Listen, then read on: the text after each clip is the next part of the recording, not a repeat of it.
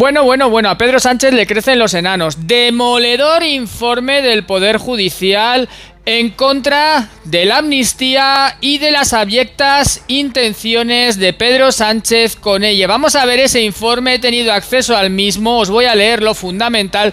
Os advierto, se va a aprobar el día 21 de marzo, ya os voy avisando para que lo sepáis. Y bueno, es un mazazo tremendo a Pedro Sánchez, a Pudemón, bueno, y a Félix Bolaños, que decía que esto era plenamente constitucional. Venga, vamos al vídeo porque es un mazazo, pero de los buenos. Vamos a ello.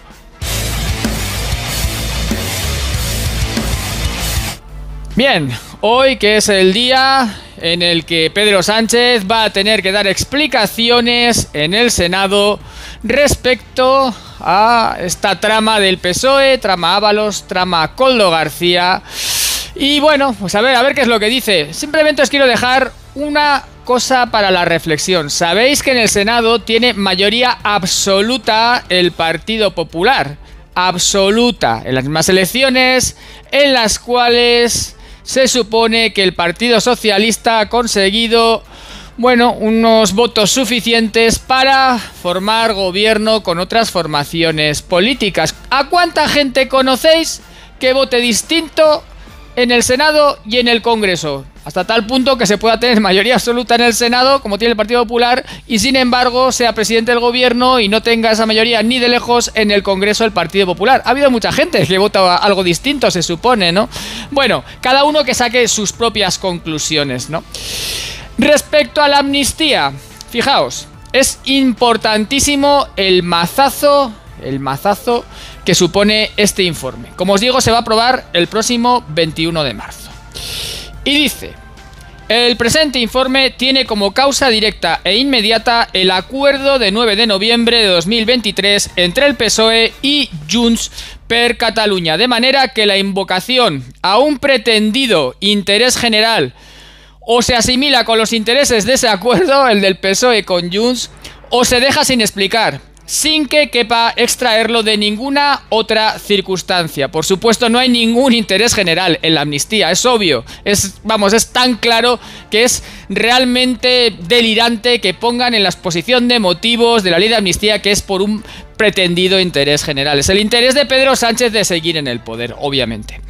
Asimismo, afirma que la Constitución, al excluir de manera consciente la amnistía, exige al legislador que justifique la adecuación de la proposición de ley orgánica a todos y cada uno de los valores, principios y condiciones que la norma fundamental impone a la potestad legislativa, lo que no se aprecia en el texto de la norma proyectada.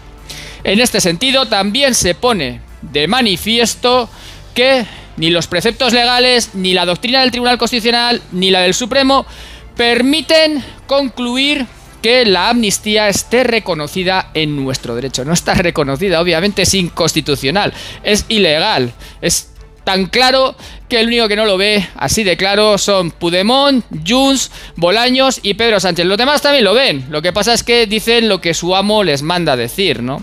Bueno, tampoco creo que lo vean estos. Lo que es que les da exactamente igual. Solamente miran sus intereses.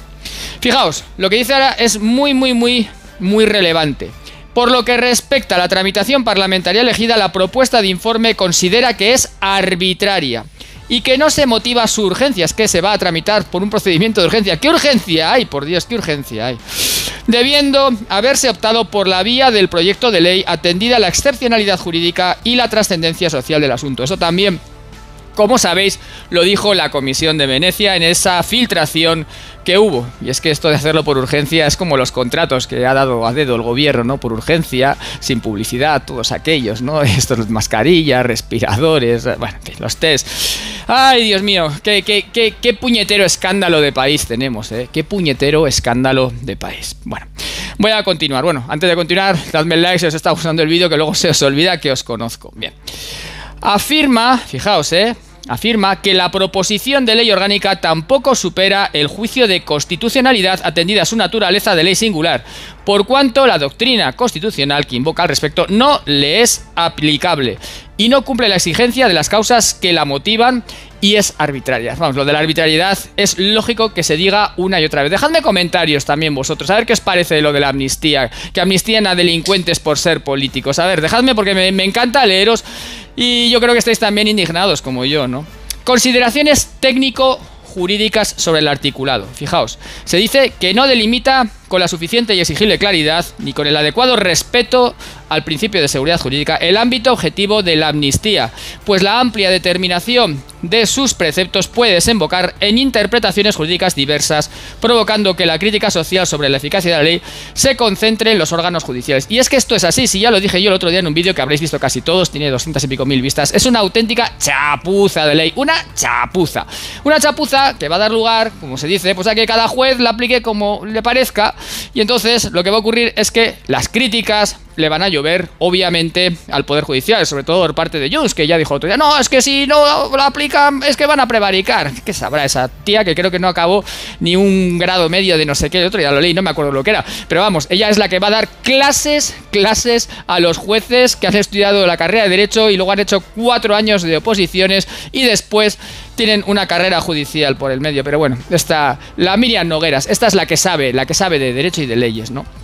Bueno, fijaos, en opinión, se dice aquí, resulta imperativa la exclusión del ámbito de la amnistía de todos los delitos de terrorismo conforme a la normativa nacional que ha traspuesto la directiva comunitaria citada en la proposición de ley orgánica con el fin último de evitar que la amnistía abarque cualquier tipo de acto terrorista cometido con el contexto del proceso independentista. Y es que eso de amnistiar el terrorismo es que es tremendo, es que es terrible, ¿eh? es terrible.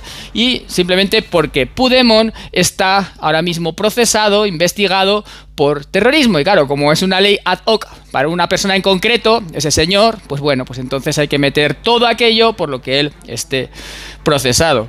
Pero aquí se dice con clarísima contundencia que la aplicación judicial automática e inmediata de determinados efectos que es lo que ellos quieren, pues que se levanten las medidas cautelares, va a resultar muy difícil de acordar, lo dije el otro día en el vídeo, con la premura que se pretende, pues en todo caso requerirá de una motivación que aportará ya en su caso los elementos para dictar directamente la resolución definitiva y luego se va a recurrir pues al Tribunal de Justicia de la Unión Europea, al Constitucional, bueno, lo que sea, ¿no? Pero no se van a levantar las medidas cautelares. Y también se afirma que en la propuesta de dejar sin efecto una orden europea de detención en la forma establecida en el 4b, eso es lo que se quiere hacer con Pudemon, se entra en una contradicción al derecho de la Unión Europea así como que la no suspensión del procedimiento cuando se haya suscitado una cuestión de inconstitucionalidad o una cuestión prejudicial no se ajusta a la regulación de estos instrumentos procesales de depuración en sede constitucional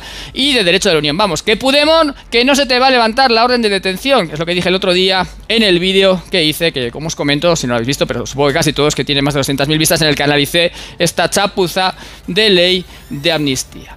Y por último se dice que se sugiere la supresión de la tramitación judicial de urgencia de la amnistía y con plazos máximos taxativos que el texto prevé al considerar que va en detrimento de los retrasos ya acumulados en muchos órganos jurisdiccionales del orden penal.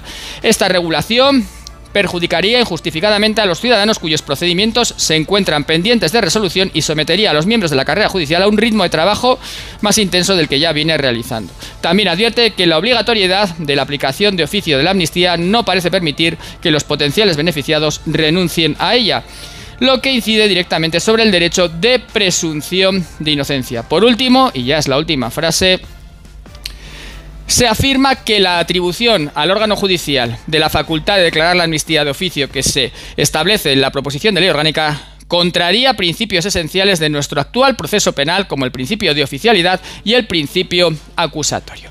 Bueno, en definitiva, este informe se va a aprobar por el Consejo General del Poder Judicial el 21 de marzo.